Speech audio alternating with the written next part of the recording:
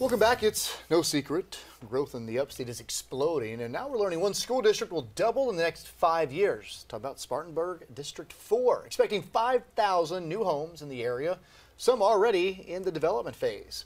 And as more people move in, that means a lot more students in the classroom. Fox Carolina's Jarvis Robertson stopped by the district to find out how teachers and officials are handling the influx of people.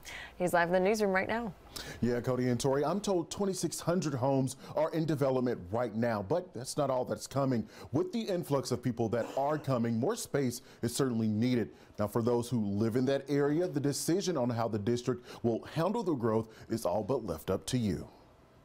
So if it's a cube, what do we know about the length and the width? They're the same. They're the same. Jamie Gooker has been a seventh grade math teacher at Woodruff Middle School for 20 years. in the same classroom. She loves helping students think critically. A lot of times they don't absolutely love coming to school, but I want to make school a fun place for them. But there's one critical problem. The district is rapidly growing. I'm sitting at 28 students in my classes, um, and so I've already started to try to be creative. By creative, she means her husband built two high tops just so students can have somewhere to sit in class. We're running out of room here in Woodruff. Our schools are full. Superintendent Dr. William Liston says his district is expected to see around 5,000 homes developed within five years, maybe even more.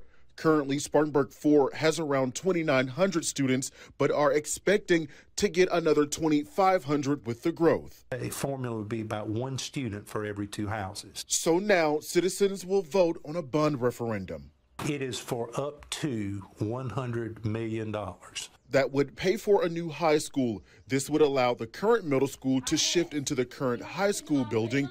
Grades 4 and 5 would move into the current middle school building. Grades 2 and 3 would remain in the elementary building. First grade would move to the primary school building, and property taxes would see an increase. $10 a month on $100,000 worth of value.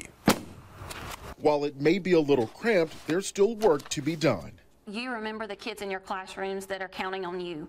You remember that those relationships that you build can last a lifetime. Most of this growth is going to occur from Woodruff north.